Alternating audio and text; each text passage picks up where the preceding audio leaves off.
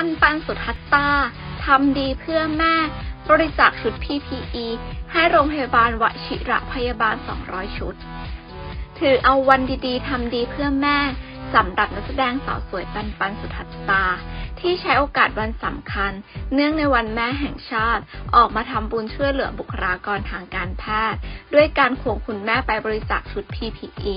ให้โรงพยาบาลวชิระพยาบาลจำนวน 200 ชุด